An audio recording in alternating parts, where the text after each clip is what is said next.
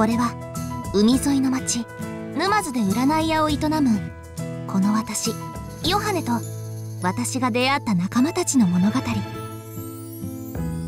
上京した都会で夢破れ母の言いつけで生まれ故郷に帰ってきた私。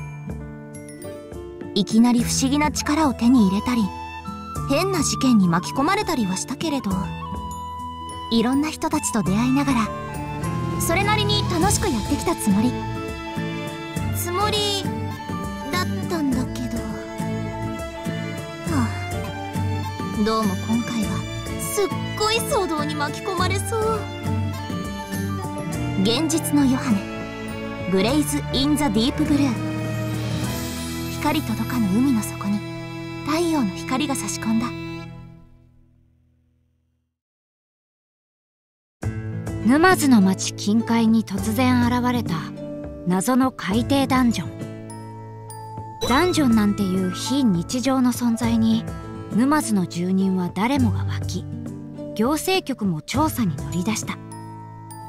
だけどその内部は複雑に入り組んだ迷宮。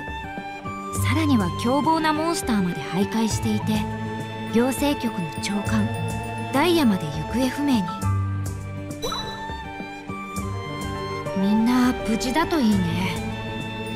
行政局のダイヤやルビー学者のリコはわかるけどカナンや花丸まで行方不明なのは何なのよ。一般人でしょ？やはりここは闇の祝福に選ばれし者。このヨハネの出番というわけね。行くわよライラプス。いざ未踏の迷宮深淵の採用へ。格好つけちゃってから元気なの分かってるよ。本当はみんなが心配なんでしょ？そりゃあまあね。大丈夫。あれでみんなたくましいし私たちで見つけてあげよう。頼りにしてるわよ。ライラプス